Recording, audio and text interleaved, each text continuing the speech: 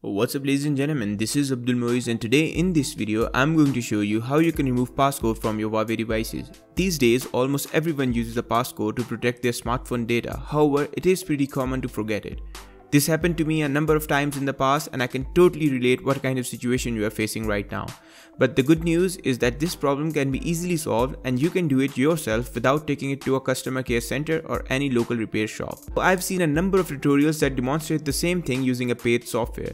Guys, stay away from all those scams. You don't have to pay a single penny to fix this issue. All you have to do is stay calm and follow what I show you in this video and you're good to go. Anyway guys, it would be super awesome if you drop a like and hit subscribe if you haven't already if this video did end up helping you out. So let's get started. This method will work for any Huawei device. I'm going to show it on my Y7 Prime, but you can follow along if you have any other phone. So basically this whole process involves two main steps. The first one is putting your phone in recovery mode, which is pretty simple, and then doing a factory reset which will wipe all the data from your phone and remove the passcode from your phone. There is one bad news and that is if you haven't backed up your phone, you will lose all your data during this process. However, it is still better to use your phone than never using it again. So to get into recovery mode, all you have to do is to first of all power off your device.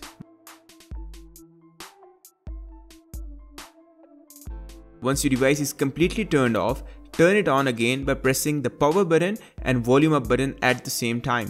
When you see the Huawei logo, leave both of these buttons and then after some time your device will enter into recovery mode.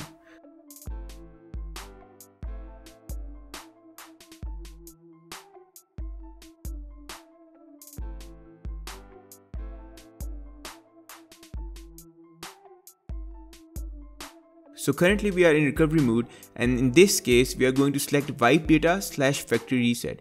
Doing this will remove the passcode from your phone along with all the data in it and then you'll have to set up your phone like you did it for the first time. This will not only remove the passcode from your phone but it will also make your phone more faster and snappier. Guys, this method works for sure 100% and I've tested it on a number of devices in the past. If you have any issues following this video, let me know in the comment section below and I'll try my best to answer your query as soon as possible. So that's pretty much it guys. I hope this video helped you out and if it did, definitely make sure to hit that like button and subscribe if you haven't already. Well, this is Abdul Moiz signing out.